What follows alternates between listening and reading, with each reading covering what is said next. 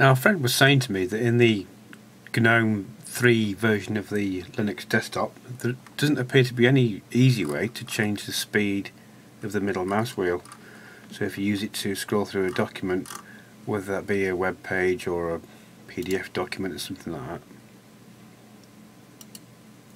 no global setting to be able to adjust the scroll wheel speed. I know there is a setting within Firefox that you can use, but that's only works in Firefox. Maybe some of the browsers, but um, in order to do it globally, you're pretty much stuck with what they supply you with. But there is a way to do it.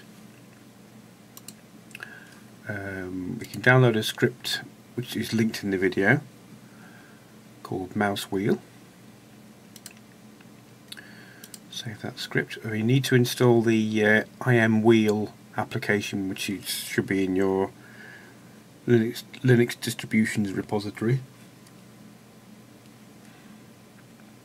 So because I'm running a Debian based distribution here I can just use the uh, apt-get command to install that. So I'll just install imwheel here.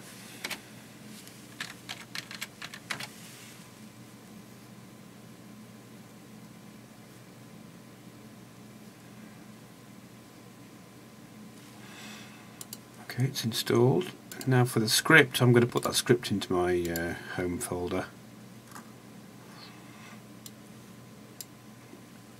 Now you need to mark it as executable as well, so if you right click in it and go Properties, Permissions, allow executing file as a program, and then I'm just going to create a shortcut to it. You can put the shortcut wherever you like of course, you can put it on your applications menu or with a Compiz launcher or something like that. So I'll just call it mouse wheel.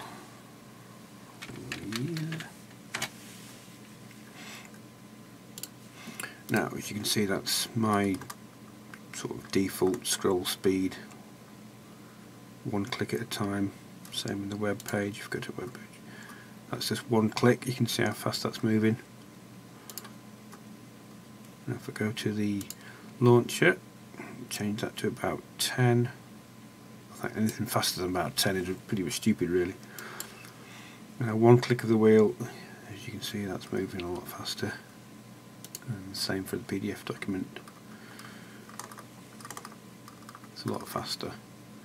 Change it back down to 1 again. That's about the default for me.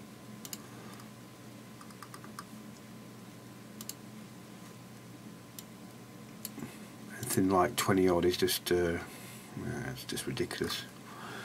Now if you want um, those settings to apply as soon as you boot your machine up, you need to put the uh, imwheel application into your uh, startup applications so just add it in there just add imwheel.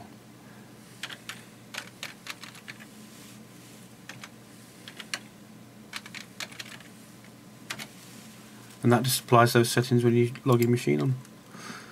So hopefully you found that useful. Bye for now